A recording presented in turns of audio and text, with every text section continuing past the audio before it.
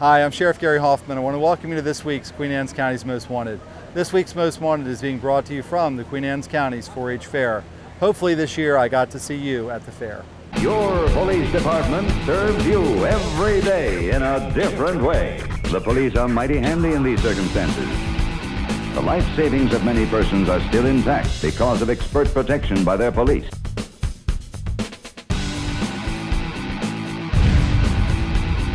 Hi, I'm Sheriff Gary Hoffman, and this week at the Queen Anne's County Fair almost marks a 20 year anniversary of a very tragic event that occurred in Queen Anne's County in the town of Queen Anne. On August 24th, 1992, a motorist passing a house in the town of Queen Anne, a little brick rancher noticed something suspicious.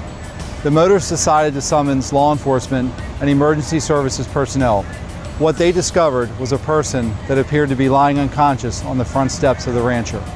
When emergency services personnel arrived, along with sheriff deputies and allied police agencies, they discovered Herman Dolly Callahan had been gunned down in the foyer of his residence. He was noted in the community as a keen business person.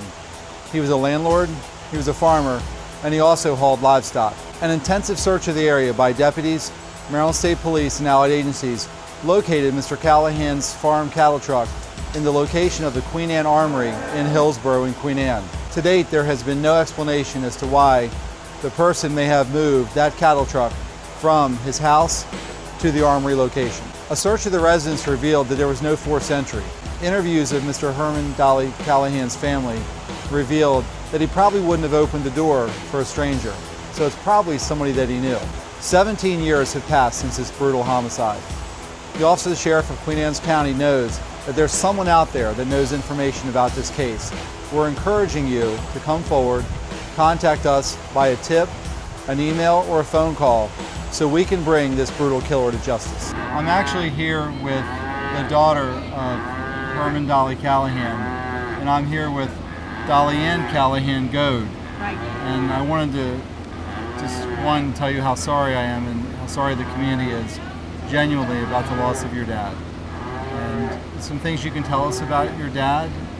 Well, this whole tragedy has been really hard on the family with everything that's going on and not knowing who's out there and who's did it. And I just can't believe no one has come forward. I mean, there was a lot of people that liked my father, a lot of people that have come up to me. We have racehorses, and there, I can't tell you the people that also have are in a cattle business have come to me and said, "Your father was a wonderful person. We really miss him." and I it's it's just hard to cope with. It's really been rough. And your dad was very prominent in the cattle community. Your dad was very well known Yes. with the community as far as he was a landlord, did a lot of the tenant stuff. Yes. He had, a uh, liquor store also, and he had several rental properties. Um, he was uh, well known at Felton Sale Barn. He got up to Manheim, New New Holland, New Jersey. He, he got around a lot of places. He was well known everywhere. So it's really important that if somebody sees this that knows somebody in the Felton area or Manheim area, Yes. any little bit of information is what we're asking. anything, just anything. If anybody could just come forward and anything that somebody's got to say they they heard something, they saw something that morning. I know it was a very foggy morning, but someone had to see that truck leave Dad's property, that house that morning, and for it to be parked over there to the National Guard Armory, so close. It was close. It was very close. And Yeah. you know, the, the thing is, somebody out there knows something, and 20 years has gone by, and I'm sure somebody would like to clear their conscience, and you know, just give information to help us solve this case. Uh, somebody, there, you know, somebody else was there. Somebody saw something and knows something. And look, I want to tell you how I'm very thankful that you came here tonight. Yes, know I finally got to meet you. I'm glad I finally got to meet you other than Yes. talking on the phone. yes. But you know, the one thing I can say is, is that the support that you bring by coming up here to the fair, thank you Yes. again, and we're going to do everything we can to help you with this. Okay. All right? Thank you.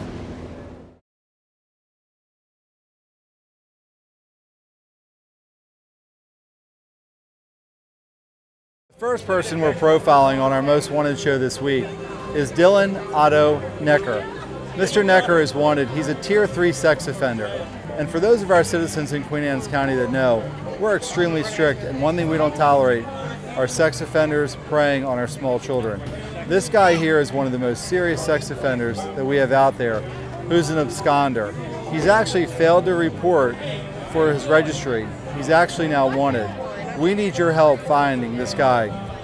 Dylan Otto Necker is a white male, 28 years of age. He's 5 foot 9 inches tall and weighs about 140 pounds. He has brown hair and blue eyes. His last known address was Chester River Drive in Grasonville, Maryland. He may be living in the Bluefield, Virginia area. Dylan Necker is wanted on sex offender charges. On September 19, 2012, he was required to notify us of any changes of his address in five or more days. He was last seen at an office visit in June 19th of 2012. This guy's wanted. If you've seen this guy, we're urging the community, please contact local law enforcement, send this around to all your friends and family. This is one guy who failed to register and needs to be arrested. David Andrew Kinder. Mr. Kinder is a white male. He's 44 years of age. He has brown hair and hazel eyes. Mr. Kinder is 5 foot 4 inches tall weighs about 155 pounds. He's wanted on a failing to appear charge, which is turned into a warrant on July 13th of this year. It's a circuit court warrant, him being wanted for a controlled dangerous substance of not marijuana. Last known address is Alberta Place in Hughesville, Charles County, Maryland. Was working at one time doing home contracting sales for American Choice Foods. The next person we're profiling is somebody that really needs the attention of the public, Larry Gene Smith. This guy's a 42 year old white male. He's wanted on charges and an arrest warrant has been issued for leaving the scene of a fatal accident. Larry Gene Smith was convicted on a failure to return and remain at the scene of an accident. He has not reported to his probation agent since October of 2011. In the past, he's worked as a construction worker. His last known address was Laurel Hill Road in Greenbelt, Maryland.